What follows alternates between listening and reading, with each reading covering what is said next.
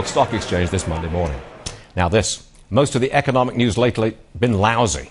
Weak employment numbers, GDP growth of barely more than 1%. A report last week showing manufacturing is in contraction. Are we headed for another recession or are we maybe already in one? Joining us now is Peter Schiff from Euro Pacific Capital. A lot of talk this morning, Peter, that we are going to be in recession in the year 2013, regardless of who wins the election. That's pretty much the backdrop to the market action today. What do you say? Well, first of all, Stuart, I think we're in a recession right now. Look at the, the, the second quarter revised GDP numbers from last week. The government claims that the economy is growing at 1.3%, but they also claim that inflation is annualizing out at 1.6%.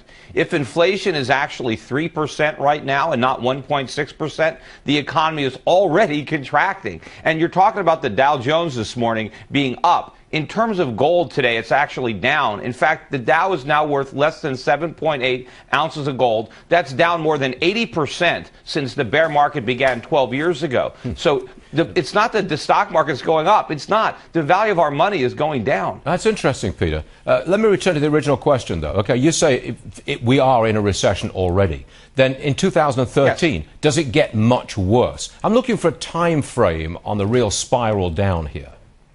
Well, it's going to get worse. It's going to get a lot worse when interest rates finally respond to all this inflation by rising, and then we go over the real fiscal but cliff. Hold on a second, because Peter. when interest me, rates go I'm, up, the party's over. I hate to interrupt you, Peter. I'm sorry about this, but look, you, you say the party's over when interest rates start to rise. Doesn't the Fed just print a lot more money to keep those interest rates down on Treasury securities? Well, and it might, well, it the might reason interest rates are going to rise is because of all the money the Fed is printing. You see, when the Fed prints money, it actually makes bonds less attractive, not more attractive, because it debases the currency in which they're denominated. Sure. In the short run, yes, it helps the bond market, but only if you're smart enough to sell. It's the people who are bailing out of bonds and selling to the Fed that benefit from QE. Anybody who's holding bonds is going to be left holding the bag. A little later on this program, I'm going to do an editorial saying that we are in another bubble, and that bubble is America's debt, Treasury securities. And that sooner or later that bubble will burst. I'm basically agreeing with you, Peter. I don't know about the time frame, but I'm basically agreeing with you.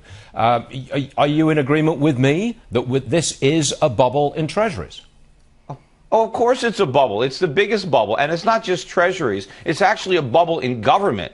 Government is enormous because it can borrow all this money so cheap. So you have a government bubble and it's reflected in the bond market and in the dollar. So it's the dollar that's a bubble along with treasuries, and it's all going to burst. And this whole phony economy that is built on consumption financed spending, both in the private sector and through the government, is going to come crashing down. It's a bigger house of cards now than the one we erected uh, prior to the financial crisis. There's no way out, is there? I mean, I, look, I don't know how this thing ends. I don't know what bursts the bubble. I don't know. I'm not smart enough to know that. But you're basically saying there is no way out. This is well, a bubble. There's no easy way out. No, there's, no. There's going to be a lot no of pain no matter out. what. There's, right? there's a, there's, there, yeah, there's the correct way out, and then there's what we're doing. We're trying to inflate, inflate our way out of it, and we're going to inflate our way into something worse. What we need to do, do is admit as a nation that we're insolvent. We need to restructure our debts. We need to dramatically shrink government spending, reform the tax code, and allow the market to repair the damage that the government has inflicted on the economy. Well, we have we have misallocations of resources. We don't have enough savings. We don't have enough production. We have too much speculation.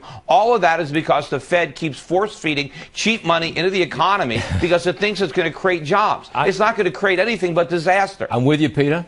The difference between us, and we've had this argument before, is that no politician can get elected to, to dog catcher if they want to the, take the pain immediately. I know we've had this argument before. No politician can get elected doing that. Oh, we're out of time, Peter, so you don't get your 10 cents worth, okay? but come back, we'll All have right. the argument again. I promise you, Peter Schiff. Good luck.